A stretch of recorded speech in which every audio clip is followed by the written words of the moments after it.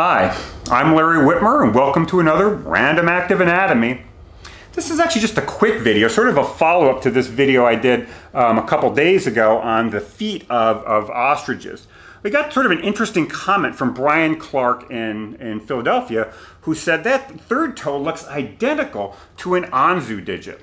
Well, Anzu is a gigantic oviraptorosaur. I mean, I don't have casts of that, that animal here, but I do have casts of Gallimimus which is an ornithomimid dinosaur from, from Mongolia. And sure enough, Bryan's right. This third digit of the ostrich is virtually the same as what we see in Gallimimus. But you know what? I'm kind of cheating here. This actually is the third digit of an ostrich, but it doesn't make much difference because this is the third digit of Gallimimus. And you can sort of see that they are virtually identical in their basic size and structure.